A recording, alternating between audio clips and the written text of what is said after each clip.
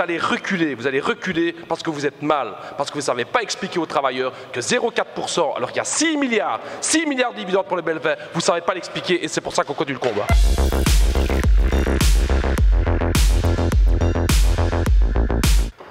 Meneer de ministers, uh, ja, er is dus blokkering van de onderhandelingen rond uh, het IPA-akkoord.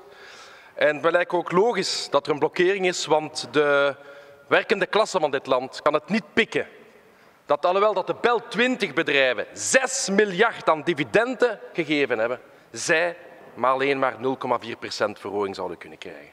Dat kan niet in ons land. En als ik hoor, meneer de eerste minister, eh, meneer Lachaert, misschien uh, meneer Lachaert aan de telefoon, kunt hem zeggen van mij dat ik hem zeg van Egbert Lachaert, ik ben niet akkoord met wat u vertelt. Ik ben niet akkoord wanneer u zegt, meneer Lachaert, dat 0,4% genoeg is. 0,4% is niet genoeg. En als ik de liberalen hoor spreken van vrijheid, vrijheid, vrijheid, maar als het gaat over onderhandeling van de lonen, niks te vrijheid. Wet van 96. Dat moet veranderen, meneer de minister.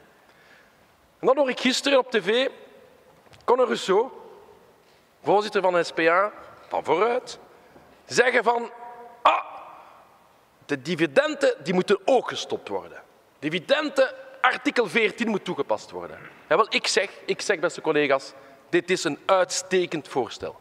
Uitstekend voorstel. Voor de eerste keer sinds het 25 jaar bestaande artikel 14 wordt dit artikel ingeroepen om de dividenden te stoppen. En dat vind ik een positief feit.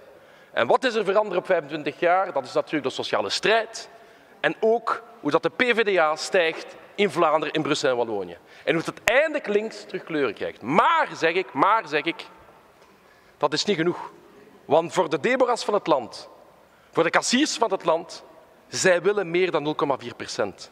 Dat is wat moet besloten moet worden. En dus, beste collega's, moet de wet van 96 gewijzigd worden. Dat is de reden waarom ik met Margot Blé ons voorstel zit op tafel. Stemt het gewoon mee dat die loonnorm niet meer imperatief is, maar indicatief wordt. Dat is de oplossing om terug vrijheid te geven aan de onderhandelingen. Doe het volgende week, stem het in de commissie. Je suis convaincu qu'il est essentiel qu'ils parviennent à un accord. Le monde du travail, le monde économique très secoué par cette crise a besoin de paix sociale et cet accord pourrait leur offrir. La note de base présentée aux partenaires sociaux est équilibrée.